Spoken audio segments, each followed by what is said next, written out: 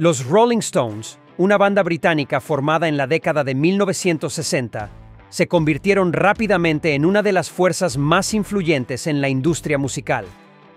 Con su característico sonido de rock and roll, blues y rhythm and blues, la banda cautivó a audiencias de todo el mundo. Uno de los factores clave de su éxito fue su innovadora y provocativa imagen.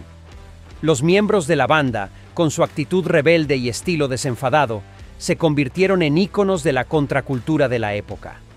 Esto les permitió conectar con un público joven en busca de una alternativa a la música mainstream. Además de su impacto visual, la calidad de su música fue determinante. Los Stones demostraron una extraordinaria habilidad compositiva, capaces de crear canciones pegadizas y llenas de energía que resonaban con el público. Su virtuosismo técnico y su capacidad para fusionar diversos géneros musicales les permitieron desarrollar un sonido único y reconocible.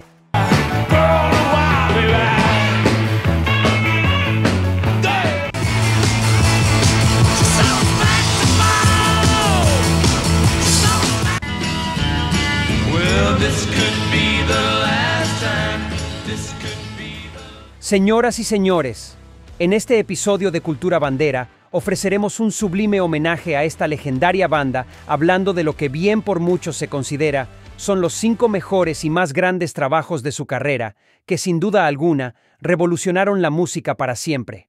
Empecemos.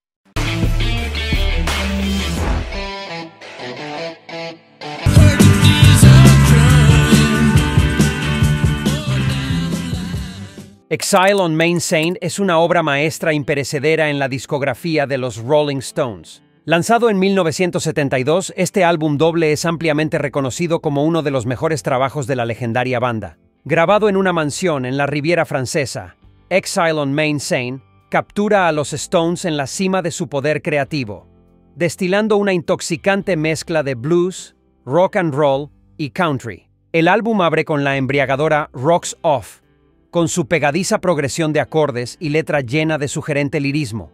Luego llega Tumbling Dice, un clásico inmediato con su ritmo sinuoso y la voz rasposa de Mick Jagger, entregando una de las interpretaciones más conmovedoras de su carrera. Y por supuesto, está Happy, una alegre oda al placer sensual que demuestra la química infalible entre Jagger y Keith Richards. A lo largo de Exile on Main los Rolling Stones nos sumergen en un mundo de vicio, desenfreno y búsqueda espiritual. Cada canción irradia una autenticidad cruda y una pasión desbordante. Es un viaje a través de la psique de una de las bandas más influyentes de la historia, un retrato íntimo de artistas en la cúspide de su poder.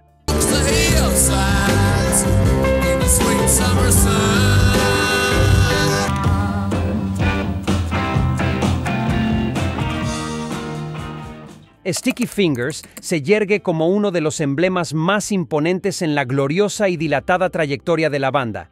Lanzado en 1971, este álbum emblemático destila la esencia misma del rock and roll con una autenticidad y una energía arrebatadoras, estableciendo un hito sin precedentes en la insigne carrera de la legendaria banda. Desde el primer acorde distorsionado y el grito desafiante de Mick Jagger que irrumpen en Brown Sugar, queda manifiesto que los Stones se encuentran en una cúspide creativa sin parangón. Esta desenfrenada oda al deseo carnal se convierte en un himno instantáneo, con la voz áspera y sensual del líder entregando una de las interpretaciones más apasionadas y persuasivas de su repertorio. Pero la verdadera magia de Sticky Fingers se revela en momentos de una belleza y una profundidad cautivadoras. Wild Horses emerge como una balada conmovedora que demuestra la faceta más introspectiva y vulnerable de la banda. Con una letra que se adentra en los recovecos del anhelo y la fragilidad humana con una delicadeza exquisita.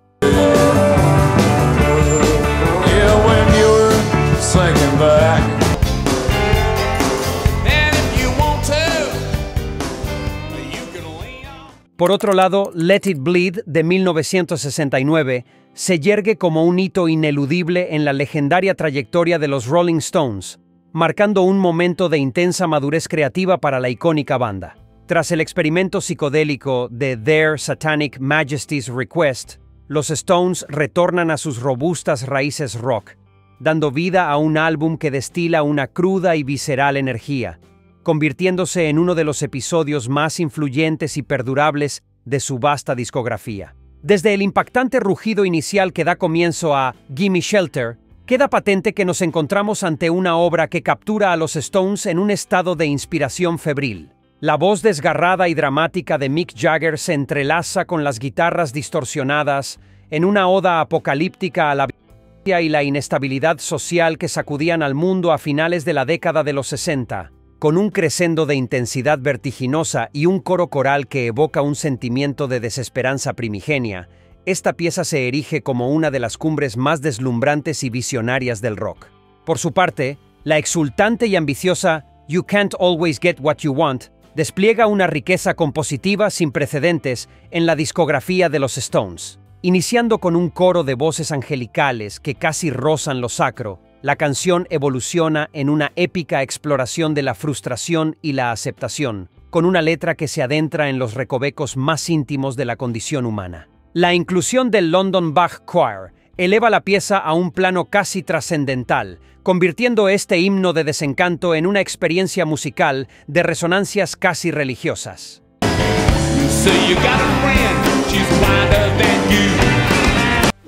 Hey gente, antes de continuar con el video, quiero por favor pedirles de corazón que no se les olvide apoyarme con un like si les está gustando el video y suscribirte al canal si es primera vez que te topas con nosotros.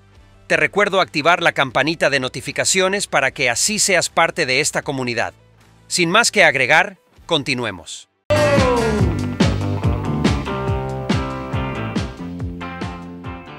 Después de experimentar con sonidos más psicodélicos y sofisticados en Their Satanic Majesty's Request, los Rolling Stones dieron un giro radical en Beggar's Banquet, volviendo a sus raíces en el blues y el country. Este álbum emblemático marca un punto de inflexión crucial en la trayectoria de la banda, consolidando su estatus como una de las fuerzas más poderosas y trascendentales del rock. La apertura abrupta de Sympathy for the Devil deja patente que los Stones han recuperado su cruda energía y su rebeldía. La letra, con sus referencias a la figura del diablo, se sumerge en un oscuro y fascinante universo lírico, explorando la naturaleza humana en toda su complejidad. La voz gutural y desafiante de Mick Jagger, junto a la implacable maquinaria rítmica de la banda, confieren a la canción una atmósfera cautivadora y perturbadora.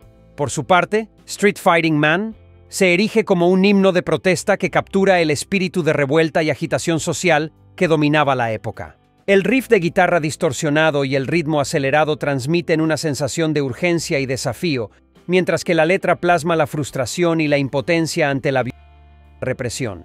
Esta poderosa composición se convierte en un reflejo sonoro de las turbulencias que sacudían al mundo en 1968.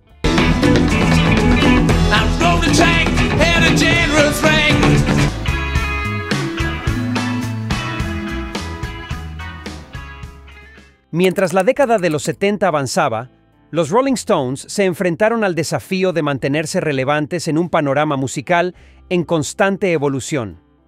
Some Girls, lanzado en 1978, fue el resultado de su habilidad para adaptarse a los cambios sin perder su identidad musical. A diferencia de los sonidos más oscuros y experimentales de álbumes anteriores, Some Girls exhibe un enfoque más moderno y accesible, acercándose a las tendencias musicales de finales de la década sin renunciar a la esencia de la banda. La canción que mejor encarna este espíritu de adaptación es Miss You, una pegadiza mezcla de disco, funk y rhythm and blues.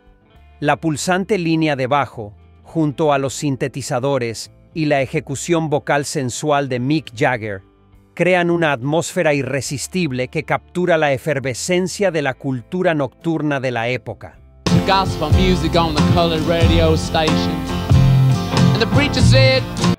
Y bueno gente, ahora es momento de leer sus comentarios y opiniones. ¿Qué piensan acerca de los Rolling Stones? ¿Cuáles consideran ustedes que es el mejor álbum de todos? ¿Y el por qué? ¿Cuáles son sus tres canciones favoritas de esta legendaria banda? Los quiero leer a todos en la caja de comentarios. No me quiero ir sin antes recordarles dar like si les gustó el video, suscribirte al canal si aún no lo has hecho y activar la campanita. Nos vemos en la próxima.